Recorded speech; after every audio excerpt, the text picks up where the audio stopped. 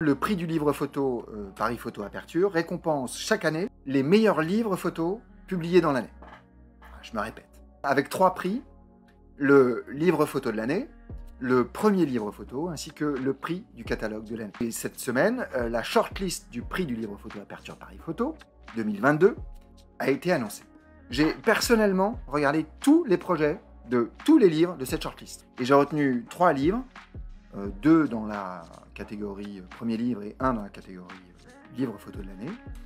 Donc trois nommés qui m'ont paru particulièrement intéressants ou des projets que j'ai trouvés passionnants et que je souhaitais partager avec vous à la fois pour soutenir les livres photos en général, et puis les photographes qui ont euh, euh, sorti des livres dans cette année. Ces projets que je vais vous montrer, je les ai trouvés soit instructifs, euh, en tout cas passionnants, et peut-être qu'ils pourront vous inspirer vous-même à poursuivre ou à commencer un projet photo personnel.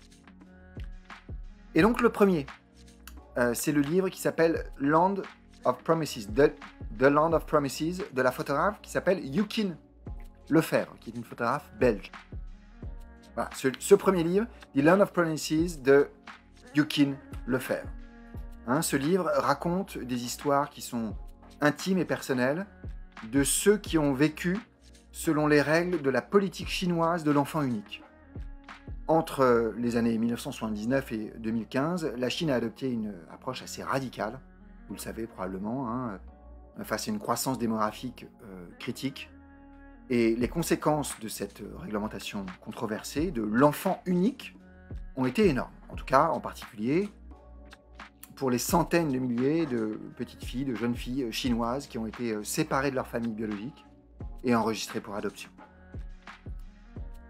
Et euh, pourquoi des centaines de milliers de petites filles hein, Vous vous doutez, euh, vous le savez probablement, parce que les parents ne pouvaient avoir légalement qu'un seul enfant et voulaient absolument avoir un fils.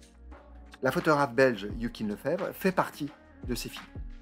Et dans cet ouvrage, elle montre le parcours de son adoption à travers l'histoire de six familles belges qui se sont rendues en Chine en 1994 pour adopter des filles.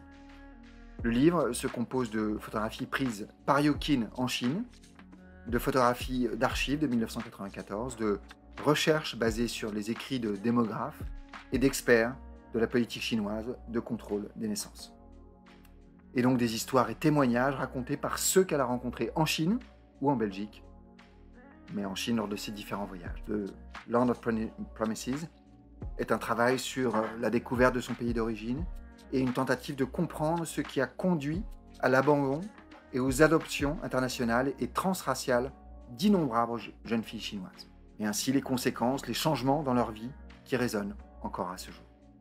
Le livre suivant est euh, Order 7161, Order 7161 euh, de Mark Schroeder. Le 16 décembre 1944, Staline signa l'ordre 7161.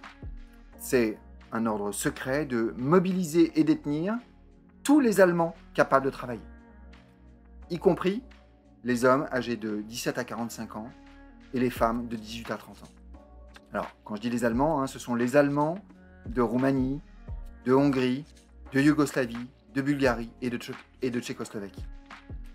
Leur déportation vers des camps de travaux forcés avait pour but d'aider à reconstruire l'Union soviétique et était une forme de réparation pour les destructions causées par la Seconde Guerre mondiale.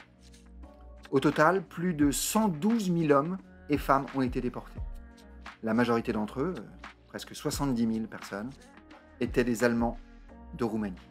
De nombreux déportés euh, sont morts des dures conditions de travail dans les euh, températures euh, glaciales, glaciaires carrément, et également la conséquence d'une alimentation insuffisante.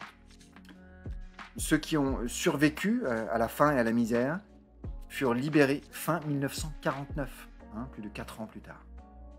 Order 71-61, 71-61, est un livre photo du photographe luxembourgeois Mark Schroeder. Au long des différents chapitres, il raconte l'histoire de la déportation d'Allemands roumains via une combinaison de portraits, de témoins, d'images d'archives et d'images contextuelles euh, qui mettent à nu ce traumatisme de l'internement forcé via une sélection de témoignages enregistrés de 40 survivants. rencontrer et photographier les survivants était pour Mark Schroeder, il le dit ainsi, euh, une certaine forme de dernière chance. Un bon nombre des euh, déportés rencontrés par euh, Mark Schroeder étaient parmi les plus jeunes en 1945 et la plupart des personnes concernées sont décédées depuis leur rencontre avec Marc. Les rencontres avec les survivants ont également permis aux photographes d'avoir un aperçu de cette mémoire culturelle collective, de la minorité allemande et de cette injustice, et simultanément d'explorer le point de vue, plus généralement, des Allemands par rapport à l'histoire de la Seconde Guerre mondiale. On comprend que ce sujet est particulièrement délicat. En fin de compte, ce livre donne à réfléchir et témoigne d'un chapitre souvent méconnu de l'histoire européenne. Il témoigne également de la rencontre entre le photographe et chacun des anciens déportés. Et il reflète euh, la nature empathique de leur relation.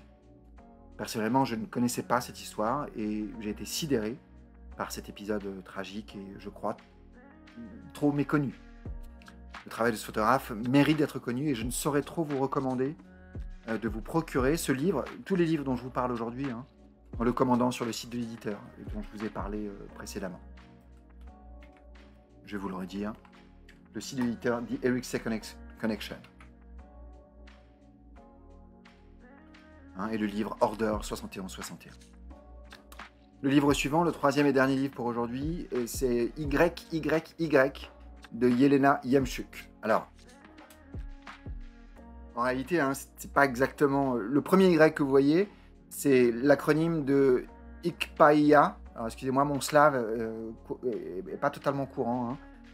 Euh, c'est le mot slave pour Ukraine. Hein. et donc, ce mot slave pour Ukraine, cette initiale, est suivi du nom de l'autrice, qui est elle-même née à Kiev. Étant donné la ressemblance trompeuse entre ce Y slave et la lettre Y, le titre peut euh, semblait à première vue être ce why hein, en anglais. J'ai trouvé ce projet intéressant parce qu'il rassemble des photographies, des peintures, euh, des archives personnelles de l'autrice pour faire ressortir des éléments euh, de différentes recherches esthétiques, des recherches qui sont assez vastes et hétérogènes. Dans ce projet, le, temps de l'histoire est fragmenté. Hein. on n'est pas du tout sur un projet linéaire.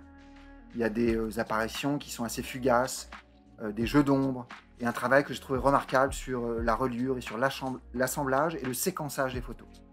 Donc Ikpaya, excusez-moi, hein, c'est pas le bon. Euh, Ikpaya Yelena Yemchuk, qui est le nom du livre, ou Why Why Why. Selon, selon euh, l'éditeur et l'autrice, ce livre est pensé comme une rêverie qui se déroule à l'envers, ce qui veut rien dire. du premier au dernier chapitre, chaque chapitre fournit une sorte de boussole pour ne pas se perdre dans le labyrinthe des pensées de l'autrice et des coïncidences qu'elle rencontre. Ce livre est une invitation à s'évader des limites du sens commun, à s'abandonner au vertige de la mémoire et à engager avec l'autrice un dialogue intérieur et intime à travers ces images. Voilà les trois livres dont je voulais vous parler aujourd'hui sur euh, le prix Aperture, Fondation Aperture Paris Photo 2022, hein, qui sont euh, sélectionnés dans la, shortlist qui a été euh, annoncée la semaine dernière. Trois projets que j'ai trouvé passionnants. Il y en a beaucoup d'autres. Ça ne veut pas dire qu'ils sont moins bons, c'est simplement moi qui les ai, qui ai préféré. J'en ai, j'en ai ressorti trois. Euh, achetez des livres photos, soutenez les livres photos d'auteurs. Euh, voilà, c'est, le livre est vraiment pour moi, le livre photo, c'est le plus beau véhicule pour la photographie. Je ne parle pas que de mes livres que j'adore faire, mais voilà, soutenez les photographes. si vous aimez la photographie, en achetant des livres photos, c'est vraiment le, le, meilleur conseil que je peux vous donner. Et aussi en achetant des livres de photos qui sont peut-être moins classiques, de photographes contemporains, qui sont sortis cette année. C'est intéressant aussi voilà, de, se dire qu'on c'est toujours bien hein, de, de, soutenir et d'acheter des photos de grands photographes euh, qui vendent déjà des milliers d'exemplaires, mais voilà, soutenez aussi des, photographes qui sont peut-être euh, plus indépendants, en tout cas qui sont contemporains, qui travaillent actuellement. Je pense que c'est euh, c'est toujours une bonne chose.